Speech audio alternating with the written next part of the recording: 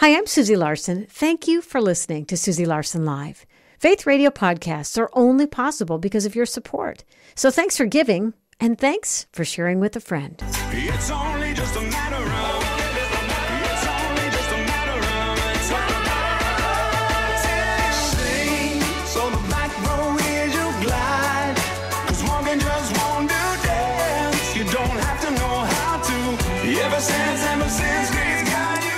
Welcome to Susie Larson Live. Always so honored to get to spend this time with you. In fact, I look forward to bringing you conversations every single day that hopefully inspire you in your faith walk, that deepen your understanding of God's Word, and that heightens your awareness of His very real presence in your life. I want you to imagine how strange it must have been for the first Christians to break with culture norms, to follow a God they could not see, uh, a God that asks for full devotion for their whole lives, for complete surrender and trust, and one that promised to perform miracles in and through them and transform them from the inside out. Imagine how that must have looked to the bystanders all around them. Have we watered down what it means to follow Jesus to such a degree that it's no longer compelling, intriguing, or even fascinating to the outside world? Dr. Nijay Gupta joins me today to talk about his really amazing new book, Strange Religion how the first Christians were weird, dangerous, and compelling. We're going to get him on in a moment, but I have a quick announcement for you. We've got an app. It's free and we're upgrading it all the time. And uh, you can live stream the shows from anywhere, listen to podcasts later on after the fact.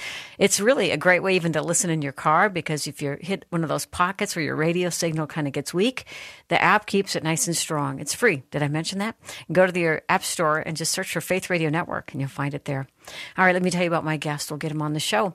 Dr. Nijay Gupta is a professor of New Testament at Northern Seminary. Previously, he was professor of New Testament at Portland Seminary, where he also oversaw the master's thesis program and advised doctoral students. He's the author of several books, commentaries, and over a dozen academic articles in theological journals. He's a brilliant man, but what I said before the show is I was praying for him. I feel like his, his brilliant mind is second to his beautiful heart. He has a humble, profound, and deep love for God. Dr. Gupta, welcome back to the show. Hi, Susie. So glad to be with you again. Looking forward to the conversation. And before we dig into your awesome book, I just want to know in your in your times with the Lord these days, what's he been talking to you about? You know, I, I, just this morning I was reading uh, Book of Exodus where it talks uh, chapter thirty four. The Lord is gracious and compassionate, slow to anger, abounding in steadfast love. And the slow to anger part, I actually, I heard this uh, little insight from my friend Tim Mackie. I hope you get a chance to have him on the show if you haven't. But um, Tim uh, reminded me the Hebrew of uh, slow to anger literally says uh, the, the the the Lord's no- nostrils enlarged. And the idea in the in the Hebrew world was um, when you're mad, your nostrils get hot; they flare hot. And if you have big nostrils, then you can dissipate that heat. And the idea is God has such long and big nostrils; He can be really patient. and I just love, I just love kind of the silliness of that image, but it really is similar to our uh, idiom of having a short fuse versus a long fuse. Mm. And the idea of be able to go to God in prayer and just say, God, I screwed up, knowing that God has a long fuse and big nostrils. That uh, it's just amazing. it's just a really beautiful image. Wow. What a way to kick off a weird conversation today, truly. I did not see that coming. I promise you, friends, you'll never hear anything quite like this anywhere else. So, wow, that's amazing. So, you had a student one day ask you a question. Yeah. Why did the first Christians uh, refer to themselves as believers? I mean, I had to yeah. pause with that question. Such a great question, but you didn't offer a pat answer. You did a deep dive and tell us what you found. Yeah. Um, you know, it's interesting. There were three terms that Christians used for themselves in the first, you know, let's say five decades of Christianity. They called themselves brothers and sisters. Um, as part of this new spiritual family, they called themselves saints or holy people because of the Holy Spirit but they also call themselves believers. And I, you know, the student uh, asked this question, and it really put me on a journey of looking at okay, were there other groups that call themselves believers? And Susie, the interesting thing is there weren't because people in the Roman world um, they took their religious beliefs for granted. They didn't even think of them as beliefs; they were just facts. You know that you could walk around and see all these statues of all these Roman gods like Jupiter, Juno, Mercury, Venus, Pluto, all these different gods, statues everywhere, temples everywhere in every city, all over the place. Just like Paul says when he goes to Athens, the book of Acts, he was shocked by how many idols there were. You're talking statues, you're talking paraphernalia everywhere. And these Christians call themselves believers, I think, because they believe something so radically different than what everybody else believed. Um, they they defied and contradicted the main religious beliefs of 99.9% of the people in the vast Roman Empire, and that made them weird, and it also made them dangerous because Romans believed that the the main gods, the Roman gods, were like overlords, and you wanted to keep them happy. You wanted to appease them, and one of the ways you did that was assuming they exist worshiping them, honoring them, giving sacrifices, submitting to them. And these Christians didn't do these things. So part of calling themselves believers was hey, we believe something completely different than what everybody else believes. You know, nowadays there's a, a cool stigma attached to weird. Like if you want to be weird, you're cool because you're out of the box yeah. and you're not status quo. And you say these Christians weren't trying to be weird for weird's sake. I mean, you write about how you live in Portland and Portland is, you know, yes. the motto is keep Portland weird. But you said they weren't bucking conventions or pop religion to be special and different. I want to read this. You said in their best and most genuine moments, they were simply following Jesus, like mice blindly chasing after the Pied Piper. And as they did so, they deviated from the norm of religion. And whether they were intending to or not, they stood out in society. So kind of contrast cool weird in our day and dangerous weird in their day. Yeah, you know, it, it, one thing I love about living in Portland, Oregon is you could just dress whatever way you want. There's no like conformity, like wear these kind of jeans or this kind of coat. Um, we do have kind of styles here, but for for young people, I have three teenagers. It's pretty much choose your adventure mm-hmm. with the way mm-hmm. you dress. Eh, but but there's a point to make in that of um, there aren't the pressures to conformity here. Certainly not in dress. Um, but the Christians, they didn't really think that way. They, in fact, if you take something like the Book of Acts, Luke, uh, who also wrote the Gospel of Luke, wrote the Book of Acts. He was trying very hard in the Book of Acts to explain that, on the one hand, Christians are different because they worship a different kind of God. And on the other hand, he tries to explain they're not they're not bad for culture. They're not bad for society. You have the apostle Paul appearing before all these magistrates and trials.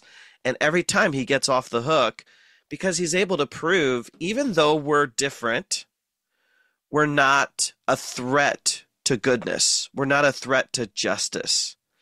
And so, even though Christians can and should be weird in the sense that we only follow our God, um, we actually should be demonstrating at all times that we are good for people, we're good for the world. They were really wanting to be, as you say, respectable members of society, but not to the degree that it would cause them to defy following God. So they they were yes. living in that tension. Again, they weren't trying to buck society. I think you see people at times, even in the Christian space, where they're they're proud of their difference. Do you know what I'm saying? Where they're proud of their yeah. humility or whatever, and it has an edge to it that's not loving, not submitted, not surrendered. When I think of right. of weird and crazy in our day is the persecuted church that they, you know, uh, mm. like Muslims who become Christians who go back to their communities because they've got to share the message of Jesus with yeah, their family. Yeah. yeah, it's like the Samaritan woman and she has this profound encounter with Jesus, John chapter 4, and she goes back to her people, the Samaritans, who are seen as um, not not orthodox, you know, not correct in their theology as as uh, compared to Jews. Paul, uh, sorry, Jesus says to her, "Salvation's from the Jews," meaning the Jews have it right, but she is a passionate advocate for the Messiah amongst her people, and surely that would have gotten her into trouble with some people.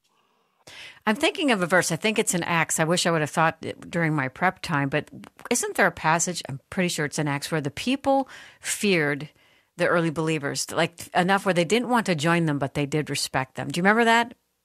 You know what I'm talking about? Um, oh, I I'd should've have to. I have to look Yeah. specifically. I mean, it could be the Bereans, but um, you know, I, I the language of amazement is used throughout the Book of Acts, where people are amazed, and there's usually two things there. One is they've witnessed something really miraculous, but then also this uh, idea of like we don't know what to do with this. There is that kind of thing over and over and over again of these Christians doing things that are seemingly impossible, doing things that are really outside of the box, that's at the same time um, inviting, maybe even compelling, but also kind of scary. Like we're venturing into new territory. Let me give an example from church history. One of my fav- one of my heroes is William Carey, who was a British missionary to India. I think in the uh, 19th century, and um, he went there to proclaim Jesus amongst the Hindu people. And one thing he found when he got there was that Indians at the time, and you can look this up, they they practiced something called widow burning. So a woman, when her husband died, uh, felt compelled to kill herself, uh, burning herself because if her husband's not alive, she shouldn't live either. It was this sort of attachment to her spouse, and and William Carey, as a compassionate Christian, started to lobby politically for the end of widow burning, arguing for the sanctity of the individual, whether man or woman. And he succeeded. He succeeded in advocating for the end of widow burning. That's that kind of radical, let's think about society differently. Let's bring a completely different ethic to society, which could be scary because you're threatening the status quo. But of course, Indians would never look back and, and, and want widow burning. They say, okay, this was good and right. Wow. This I found the passage and then so did Angie. She's uh, quick quick with the keys. I'll just say that. Here's the passage. The apostles were performing many miraculous signs and wonders among the people, and all the believers were meeting regularly at the temple in the area known as Solomon's Colonnade. No one else dared to join them, even though all the people had high regard for them. Yet more and more people believed and were brought to the Lord, crowds of both men and women. As a result of the apostles' work, sick people were brought out into the streets on beds and mats, so Peter's shadow might fall across some of them, and they Right. as they went by. Crowds came from the villages around Jerusalem, bringing their sick and those possessed by evil spirits, and they were all healed.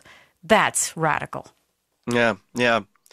Yeah, I mean, the goodness of God in a dark world can be really scary and his power. Um, but I love that Acts continues to mention, but it kept, it kept growing. You know, it kept thriving because the Holy Spirit was at work. Wow. Okay, when we come back, I want to pivot to c- contemporary times. And you wrote about how in the years of 2020, 21, something changed in the church. People went online Yeah. and some didn't come back. And why is that? We're going to just sort of take a look at the modern day church. And we, we love the church. Church is the bride of Christ, but I think it's so good to know are we, um, have we watered down what it means to radically follow Jesus, you know, to trust Him, to give our all to Him? And, um, and is our Christianity compelling to people who are watching us? Like in the book of Acts, some may be afraid to join us, but they respect and regard us because we walk in power, in humility, in surrender, in love, in kindness. Our lives are marked by power. We pray for people, things change. We submit to God and we love our enemies. That's a compelling Christianity. We'll talk about that with Dr. Nijay Gupta in a moment.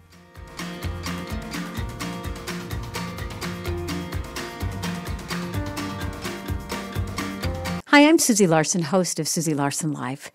And I just have to pause, take a deep breath, and say thank you.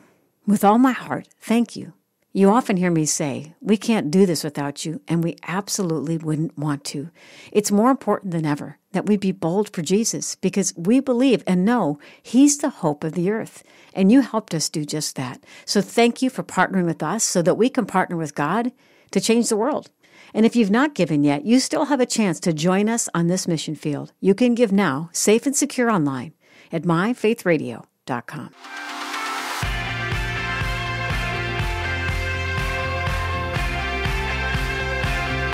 Hope you're having a really great day. Thanks for tuning in to Susie Larson Live. Honored to have as our guest today Dr. Nijay Gupta. He's a Bible scholar and a deep thinker. His new book, Strange Religion How the First Christians Were Weird, Dangerous, and Compelling, is just a deeply well researched book, but also just gets you to think a little bit because we can so acclimate to even a watered down version of Christianity without ever maybe challenging it within ourselves. But when we start to look at how the first believers walked and followed Jesus. It's just good because we can say, Lord, what, what do I need to know? What do you want me to know? What do you want me to do? And you made this interesting observation about the modern church as we walk through 2020 and 21. People watched church online because churches were shut down. But then when church opened back up, not everybody returned. And you said this they learned to live without church. And then they realized that they could live without church. So they did. Church was too normal. It competed with everything else going on, so it faded into the background of their lives. Sure, every now and again there was a twinge of nostalgia mixed with guilt, a little nag that said, maybe you should go back. But for the many, that minor pang was not enough to inspire them to get up and to go out. Say more about that. Yeah, you know, I, you know, I mentioned I live in Portland, Oregon, which is one of the most unchurched parts of the United States and that comes with challenges. I grew up in Ohio, where there's just a lot of church uh, culture, church support, church community, um, a lot of favorability towards the church because of that. Um, here in Portland, it's not the same, but but um, that requires pastors to be passionate and innovative.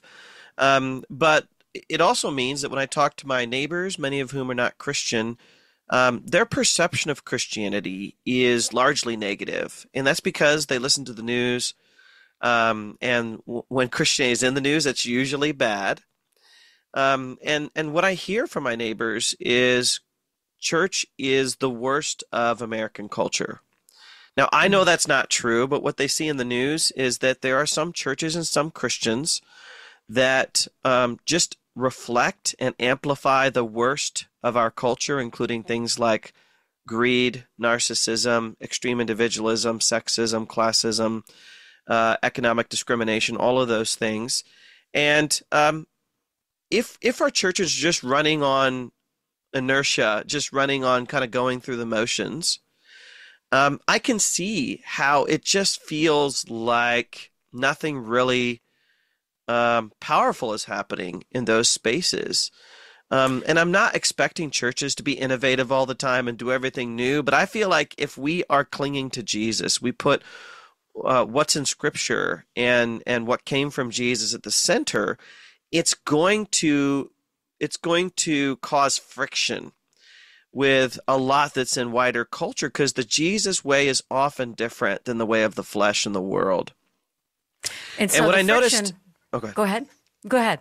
Well, well, what I noticed with uh, church often is, um, I think we, you know, I work with a lot of pastors. What I noticed is uh, churches often get into a rut where we just kind of do the same thing that we did the year before and the year before and the year before, but people's needs change and the world is changing. And so yeah. there has to be this kind of spirit led adaptability.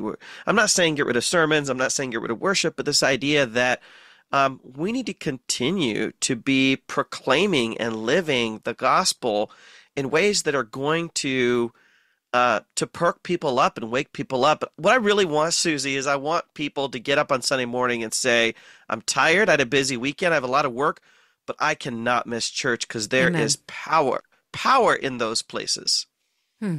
Wow, so good. And I've got to say that when you think about the friction, when you think about what you're seeing in the media narrative, there is behind that, I feel like, an Antichrist kind of mentality. There are, there's, you know, the enemy hates Jesus' bride. Mm. So there's going to be people who love to find fault, and there's plenty to find fault in. You know what I'm saying? So there's a weight yeah, of that, yeah. of that um, perspective that's just never giving the benefit of the doubt. Because for mm. all of the the narcissists and the you know self-serving leaders, there are just a thousand more pastors yeah. in small rural churches or medium sized churches giving mm-hmm. their lives for their flock. And so that Absolutely. said, I just feel like that's important. But on the other side, you know, I'm reading uh, Andrew Murray's Believing Prayer. I've read it umpteen times. It's this little book. Mm. I love it so much.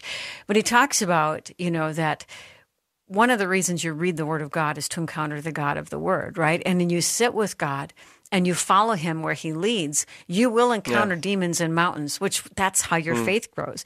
But if we're just trying to prop ourselves up, my paraphrase of a comfortable little Christianity, we won't we won't have our faith challenged. But as we're facing walking God with God, we're facing mountains and we're facing demons, which requires faith. And it reminds me of uh, years ago, I had a, a, a rep from International Justice Mission on. We get them on every once in a while. And he had said, you know, there's times when you find pettiness or kind of a benignness in the church. He said it's not because our problems are too big, it's because our problems are too small. That we mm. need to take on bigger problems. We need to enter into the world's suffering. Because I think where you see, you know, segments of Christianity doing that, you know, like the Dream Center in LA or places like that where you're going into the world and making a difference, they're so in over their head that if God doesn't show yeah. up, they're in big trouble. So I, yeah. you know, I feel like it's both and, don't you? Like there is an enemy that hates Christians, so he'll do whatever he can to spin a narrative and pick out the worst parts of of who we are. But then there's this other piece that if we could engage with God, we wouldn't. I think we would we would love this faith journey as hard as it is. We wouldn't want to be anywhere else. Yeah, you know, w- w- one thing that I often say when people ask what what made the early Christians so courageous and so radically different in all the best ways compared to sometimes in the modern world where we kind of get complacent.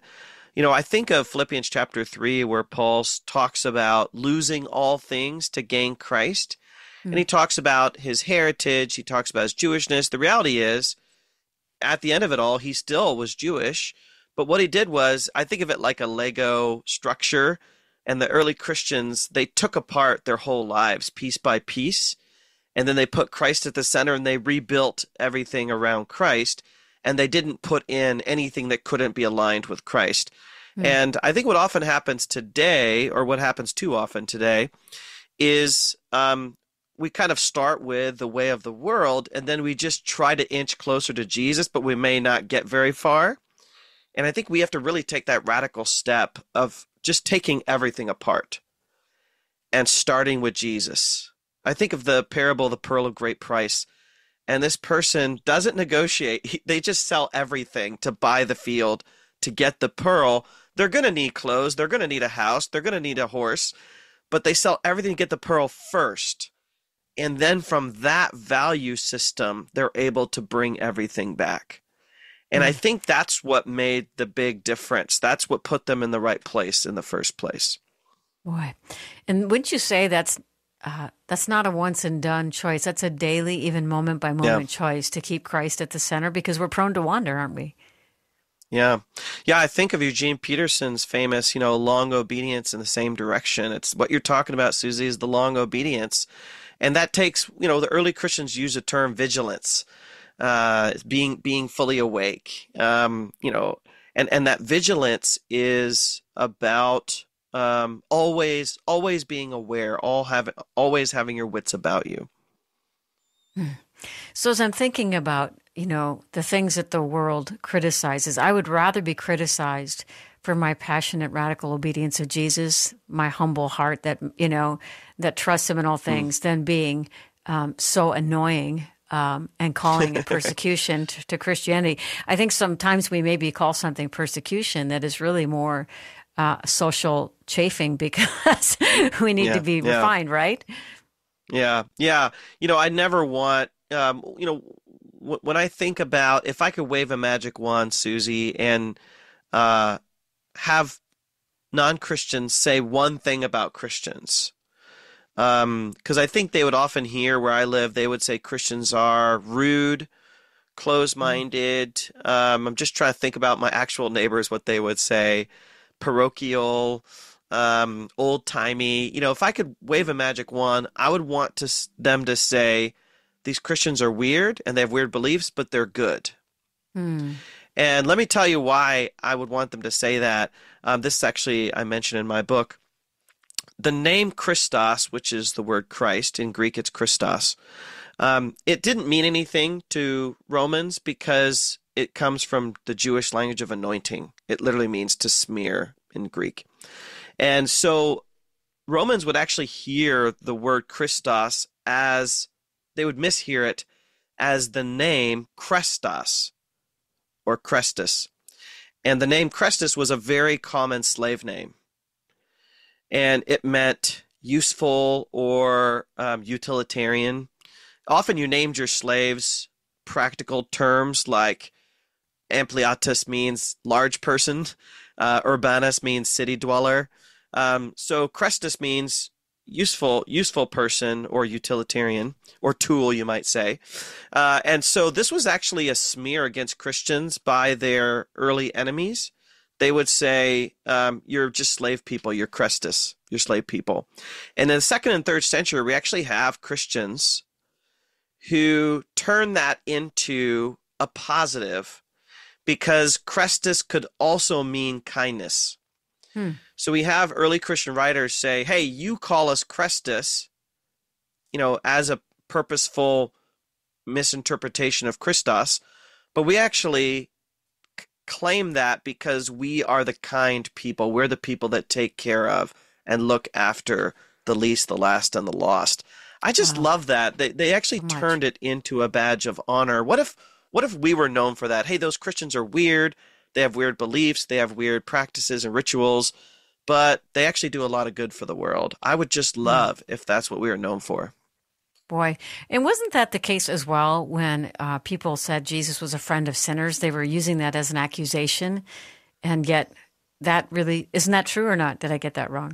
Yeah, yeah, absolutely. I think about here in Portland, we have uh, a gentleman who does a lot of work with the homeless, and I remember asking him at um, you know at a gathering, you know, w- what's it like? You know, how do people perceive you as someone that spends time? You know, because he'll he'll spend a lot of time with the homeless, and he'll try to contextualize and, and be in their midst. And he says, you know, people walk by and they'll throw things at us, just assuming I'm homeless as well. Hmm. And, you know, it's just, I, I feel like that's a really good parallel for Jesus being a friend of sinners, is he's willing to accept whatever reputation or trash talking that comes with to be with those who were kind of at the bottom of society. And don't you think that's just radical? In a day, I mean, uh, even back then, ego was king. Ego is king now too. But Yeah, I mean, yeah, truly, absolutely. you know, how you presented, who you associated with, those were all identity issues.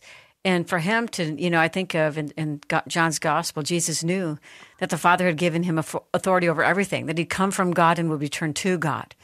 And in his knowing, he picked up the towel and the basin. I mean, everywhere you turn when you look at Jesus, he was living this. This is what they were modeling, the disciples. But it's like the king of the universe did what the lowliest slave would have done.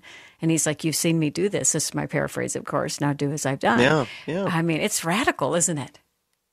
Well, even dying on a cross, we just can't understand in our time Yeah. now how degrading and humiliating that would have been. Hmm. Um, from Pompeii, we actually have graffiti, and in other places we have graffiti, graffiti so that we know that they would say, Go get yourself crucified the way we would use the F word to people.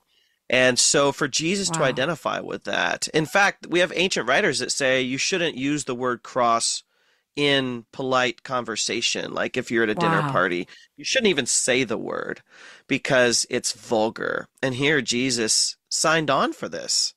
Um, and he brought know, it- dignity to the cross, Nijay, because we wear the cross around our neck now, right? It, I yeah, it's an amazing thing. It's Yeah. an amazing thing to have accepted that, um, to transform that into um, into a symbol of love and redemption. I think about John chapter thirteen, where he says he loves them. He loved them to the end, Yeah. to the very end. Uh, means that he was willing to go the full distance to do anything to make things right in the world because of his love. Wow. Talking to Dr. Nijay Gupta. And I forgot to mention, friends, that we've got some copies of his new book to give away. So here we go. Strange Religion is the title. How the First Christians Were Weird, Dangerous, and Compelling. And he writes like he speaks. We got a handful of copies to give away.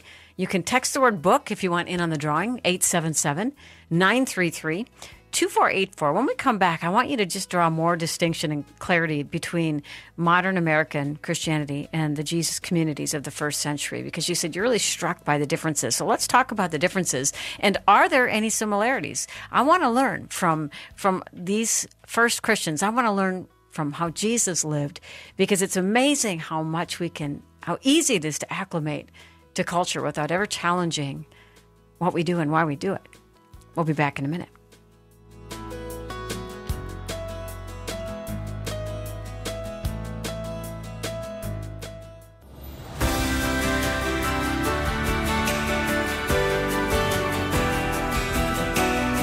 I pray you're having a really beautiful day. Thanks for tuning in to Susie Larson Live, having a super interesting conversation with our friend Dr. Nijay Gupta. He's a biblical scholar. His book, Strange Religion How the First Christians Were Weird, Dangerous, and Compelling. You can text the word book if you want in on the drawing. Text the word book to 877 933 2484. And Anija, you said you're struck by the contrast between modern American Christianity and the Jesus communities of the first century. And we've been touching on it, but I want you just right here, right now, make a real clear distinction. And then let me know are, are there any similarities that you see? Yeah, well, let's start with the similarities. I mean, I, I, I don't want to be a huge critic of the modern church in the sense that I think everyone's doing everything wrong. So I think the best churches that I go to that are the most authentically Jesus centered. Um, you know, there is uh, openness to the Spirit. There's a commitment to the biblical tradition.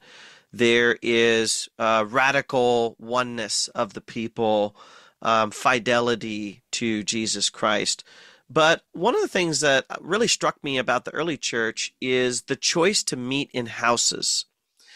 Um, one thing we know from the New Testament is churches met in homes, apartments, basically li- li- living spaces. And that was a radical departure from Roman religion. Roman religion was often performed in temples and in festivals, um, kind of in open air settings, that sort of thing, with priests and material sacrifices. And it was often kind of more political and government oriented. You know, religious ceremonies often happened at government uh, kind of ceremonies. The Christian move to the household, Susie, was, I think, an intentional move to transfer religion from the realm of politics really to the realm, the most intimate realm, which is that of family. And by meeting wow. in houses, they were practicing the most intimate form of relationship, which often happened in the family brothers and sisters, parents and children. And the, the kind of key that unlocked that relationship was affection and love. Whereas in the public sphere, in the political space, it was about politics, obedience, um, appeasement, that sort of thing. But to put it in the household around a meal, you know, and I don't know uh, if a lot of Christians know this today, but in the ancient world, in the Roman world, you actually laid down to eat. So they would they would actually call the dining room the triclinium, which is the center room of laying down. And that center room had a table low to the ground, and people would actually lay on their side and eat. So eating together was a very intimate experience. You know, I don't often eat with strangers. The most common experience I have would be at the airport. If there's like, if I'm at like a coffee shop at the airport and there aren't, enough tables, I might, you know, sit down with a you know group of people at a big table. But in the ancient world, you really only ate with people that you were close with. You didn't have these experiences where you're eating with strangers.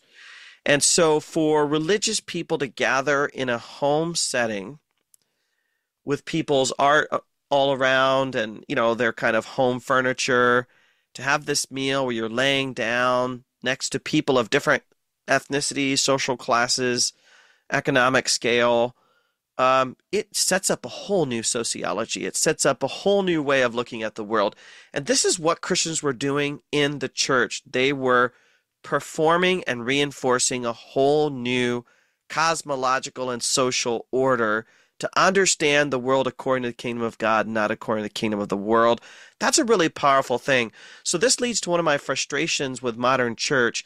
If you can go to church and not talk to anybody and not interact with anybody and you just sit there listening to something and then go home, I don't think the early Christians would understand what was going on at all as mm. church.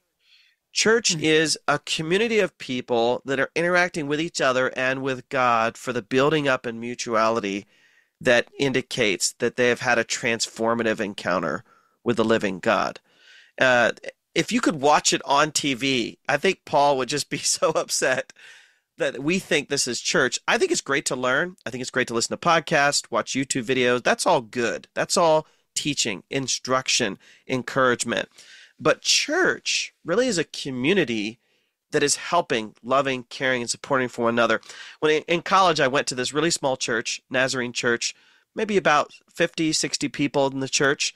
And there would just be a time of the service where uh, the pastor, one man show, the pastor would just say, What are the needs of the people? And people would literally get up and say, uh, My is broken down. Can someone give me a ride to work tomorrow? And someone was like, Okay, I got you. Someone else would say, Oh, wow. you know, I have this. Can someone help me move out my oven? I got to get a new oven. You know, oh, okay, I'll help you with that. Like, this little tiny Nazarene church in southern Ohio was reflecting a deeper version of the we're here for each other as a family ideology, sociology of the church than many, most of the other churches I've been to. Wow.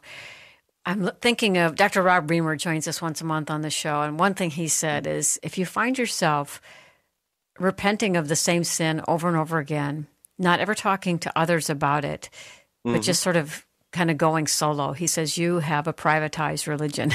He said, yeah, You know, we yeah. are, we you know, it's, remember what Jesus said, you know, confess your sins to God that you're forgiven, confess your sins to one another that you're healed. And the idea of community is necessity. Necessity yeah, to being transformed. And I'm trying to imagine these believers in this idolatrous culture, they're coming together around the table and it's it's normalizing their faith. It's normalizing radical you know, trust. And, but if you are just truly, even if you're attending church, but you're keeping all the walls up and you kind of got a good facade on, you're not, life doesn't get in and life doesn't get out. And so, yeah. uh, God wants something more for us in the way of community, doesn't He? Yeah, and and also in the worship of Jesus, um, you know, I I have a musician background. I play guitar and piano and sing. I love music, but I get really concerned that we have associated worship with music too much. Hmm. And uh, worship has really nothing to do with music, except music can be a means of worship. Worship is ultimately reinforcing our value system around Jesus Christ.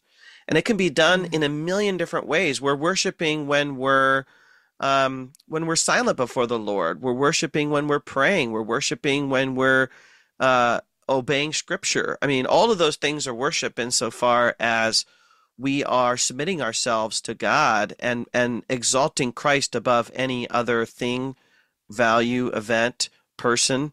Um, and so, one thing that was really fundamental to the early church is everybody had a personal encounter with Jesus Christ. It may look different from person to person, but it's really about a personal relationship with Jesus. I worry sometimes at church we're just there for a teaching from a pastor or a teacher or a leader.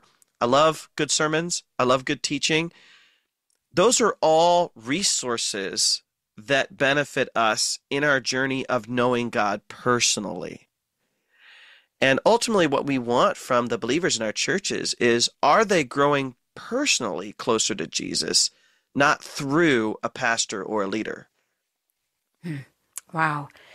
I want to read this. She said it was more the case that the person of Christ, the work of the Spirit, and the fundamental dynamics of the gospel themselves changed their orientation toward God, God's world, God's creatures, and God's good end. That made Christians seem like aliens from another planet. And that context was the difference between those who worshiped all of these small g gods. I want you to hear this again. It was more for these Christians the case that the person of Christ, the work of the Spirit, and the fundamental dynamics of the gospel themselves change their orientation toward God, God's world, God's creatures, and God's good end. That made Christians seem like aliens from another planet. Reminds me, Nijay, of another part of this little book from Andrew Murray, where he talked about there are times when Christians go as far as they can to the edges of what's lawful. Doesn't matter if it's not profitable. I want to get as yeah. much of the world. Uh, I want to have as much license as I can, and uh, and still call it Christianity. But he said, it's those who get before God to say, everything, anything, show me, Lord, I want to walk in your way, that really, he said, start to see power in their prayers and even power in their footsteps. And I think, you know, it, that kind of stuff is so easy. We acclimate more than we even realize. And uh, that's, I feel like this is maybe a bit of a pivot. Maybe we'll talk about this on the other side of the break, but just even the idea of fasting. Um, Mm. Because that was a part of the early church, and, and, you're hearing more about it these days. But what, what role that might play, and especially when you live in a nation where you can have anything you want at the click of a button. Yeah, you know, yeah. when we really can have access to what we want when we want it, and the, you know, there, I think that the idols of of convenience and comfort um, are alive and well today in our midst. So, what would that mean for us? What might God be asking of us and from us that we could know Him on a deeper level? Dr. Nijay Gupta is my guest today. His book is Strange Religion How the First Christians Were Weird, Dangerous, and Compelling. We'll talk more with Dr. Nijay in just a moment.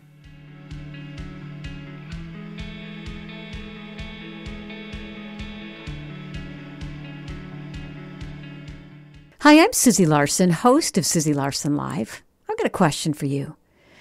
Do you have a deep desire buried in your heart that you've tucked away and haven't thought about for a long time? I'm daring you to bring it up again. Bring it before the Lord. Put it on the forefront of your mind. Start to pray about it. Talk to a friend about it. Search scripture because of it. God delights in every detail of your life, and He truly wants to fulfill some of the deepest desires of your heart. Connecting faith to life. Faith Radio.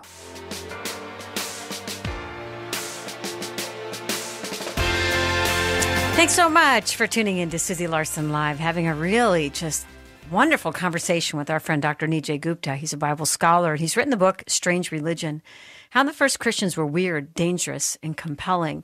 And you were saying, we talked about this earlier in the show, that they Christians, early Christians weren't trying to be weird for weird's sake. They wanted to really follow Jesus wholeheartedly, submit their whole lives, reorient their whole lives to Him, while at the same time living respectable, being respectable and living as good members of society. And you said it was more of the case that the person of Christ, the work of the Spirit, and the fundamental dynamics of the gospel themselves changed their orientation toward God towards God's world, God's creatures, and God's good end. That made Christians seem like aliens from another planet. And just given that, I didn't expect to go in this direction, but I do want to ask you about, say a word, if you would, about fasting, especially, you know, living in our society when we can have what we want when we want it. It's not a bad thing to, to buffet our flesh, to say no to our flesh at times so we can make space to really press in to know the Lord in a deeper way. Yeah, you know, ultimately, fasting was an exercise of trust, um, an exercise of um, recognizing that God can take care of us and God calls us to hunger and thirst for Him alone. I also think, uh, Susie, about Sabbath. Sabbath and fasting are very Mm, similar. yeah, yeah. Um, and, and, and my friend AJ Swoboda, who I know that you've had some connection to, uh, he wrote a wonderful book, Subversive Sabbath. And um, I think in our time now, yeah, food uh, is this place where we need to learn how to rely on God, but also time. You know, I'm one of these people, I love to be productive, I love to get more and more work done, and Americans are famous for overworking um, and trying to get ahead. And what does it mean to intentionally take time off and not be quote unquote productive so we can be fully present before the Lord? Uh, and the same thing with fasting. You know, it was this radical practice. Now, Christians weren't the only ones that fasted, Jews fasted as well. But it's this radical practice of saying no sometimes to our bodies to kind of be fully present to the Lord. And and both food practices of Jews and Christians and Sabbath were ways that they were criticized by the Romans for just being weird and doing things that were seemingly backwards. But I think this is kind of just part and parcel of being Christian. When you live in a non Christian environment like I do here with my teenagers, sometimes I tell them, you just need to tell your friends, oh, I do this because I'm Christian, and just let, help them understand it's okay to be different. So, for example, like cussing, a lot of my a lot of my son's friends cuss, and he doesn't. And you know, when they come over, you know, we'll tell them, you know, we don't cuss in this house and he'll have to explain to them you know we just believe in good speech uh, we believe in respect respectable speech And I have to help my kids understand we need to learn to just be okay with being different. And mm-hmm. that happens with fasting. It happens with Sabbath. It happens, you know, I think of Eric Liddell Do you remember the story of Eric Liddell Mm-hmm. Uh, Chariots of Fire. And yeah. he's this, uh, he's this runner who doesn't run on the Sabbath and, you know, that sort of thing. And what does it mean to hold true to these commitments? Even if the world's going to find us bizarre, even if sometimes we're going to be rejected because of it, we say, God's ways are, are higher than the ways of the world. We just have to understand it's going to come out right. And don't you think there, you know, I mean, who was it? Oswald Chambers, I think, said, let God be as original with others as he is with you. And in that light, I mean, he leads us all differently. What might be yes. maybe sinful or just indulgence for me might not be for you. And I think we love to make rules and laws. And maybe you've had an encounter with God and he's saying, no more of this. And then you want to turn around and make it a rule for everybody else. And somehow, some way, we've got to walk in the spirit and not gratify the desires of the flesh. I remember reading, mm-hmm. uh, if I, think I got this right, but Dr. Jack Hayford uh, loved chocolate, but because of that, because of just he wanted to buffet his body and stay in constant dependence on the Lord, it's one of those things he said no to himself. He loved it, but he's like, I'm just not going to have it. I just want to exercise that no muscle when it comes to my flesh. And then you think yeah. of Billy Graham, he wouldn't get in an elevator or a car alone with another woman, and he got so much criticism for that.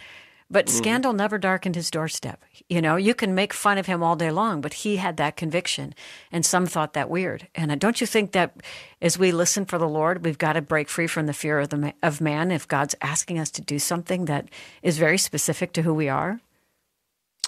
Absolutely. And and I think this is what made the early Christians so powerful and compelling is um, they weren't afraid of the world. Uh, you know, the, the, the apostolic community. They weren't they weren't afraid of um, managing expectations, managing reputation. They were just saying, "We're going to go all in on this Jesus thing, come what may." And it's that "come what may" part that I think we often compromise on. I I, I often compromise on it you know, if, if I'm on an airplane, someone asks me, what do I do? mm-hmm. Sometimes it's hard for me to say, I'm a seminary professor. I, here in Portland, Oregon, that doesn't buy me a lot of goodwill mm. culturally in the way it does when I visit my parents in Ohio, where you growing up, um, in Ohio, uh, clergy got all sorts of free stuff at businesses, and you could go to mm-hmm. Cleveland Indians games for free. We don't get that here in Portland, Oregon. so, do I hide my faith, or do I just you know, one thing my wife has helped me understand better is by being bold and saying I'm a Christian, I'm actually trying to get my neighbors to rethink what Christianity is based on me. Wow. And wow. Eh, you know, be able to say, "Hey, I know you've met some Christians who have been hypocrites, mean-spirited. I'm a Christian too."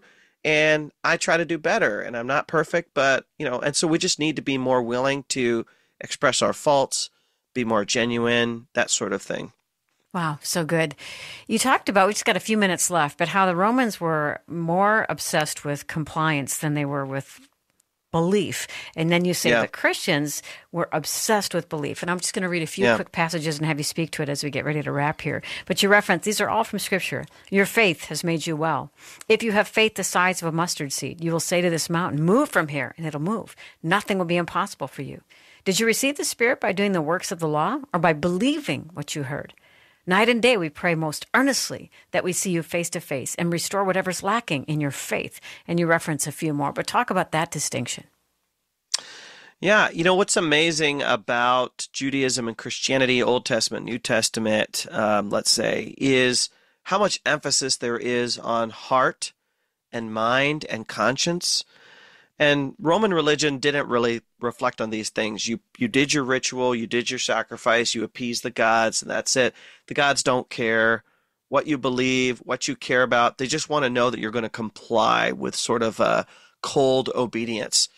But what's interesting is even from the beginning of the Old Testament, love the Lord your God with your heart, with your soul, with all your strength. This idea that God knows that what we really care about is going to be internal. It's going to be where our heart is. And so it's amazing to me that we have so many passages in the New Testament that talk about conscience, what's going on inside of us, which is kind of like integrity, authenticity. And I think the Christians were ahead of psychology, the development of psychology, by showing that our real behavior is going to begin with what's inside of us. You know, mm. you, you can ask for compliance all you want, but to really turn someone's life, you got to turn their mind and heart. And mm. the, the Bible talks about that from the beginning, that it's got to be heart, mind, and spirit. Amen. Well, Dr. Nijay, our time is up, and I'm looking forward to future conversations with you. But thank you for such a, a well thought out book. It's just amazing, and we love any time we get with you. Thank you, sir. Yeah, my pleasure. Dr. Nijay Gupta is my guest. His book again, Strange Religion How the First Christians Were Weird, Dangerous, and Compelling. I just challenge you to sit with God to ask Him, What does obedience look like in this season? How can I honor you with my life in this season? And then do what He says. He's worth it. Appreciate your listening today. We'll meet you back here next time.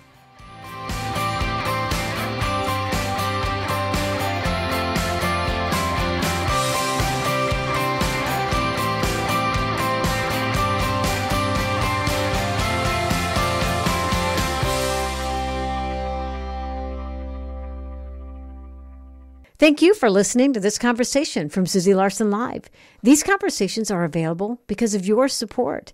You can become a supporter now at myfaithradio.com. Please subscribe to the podcast so you don't miss any episodes and then share it with friends so together we can all have a deeper life in Christ.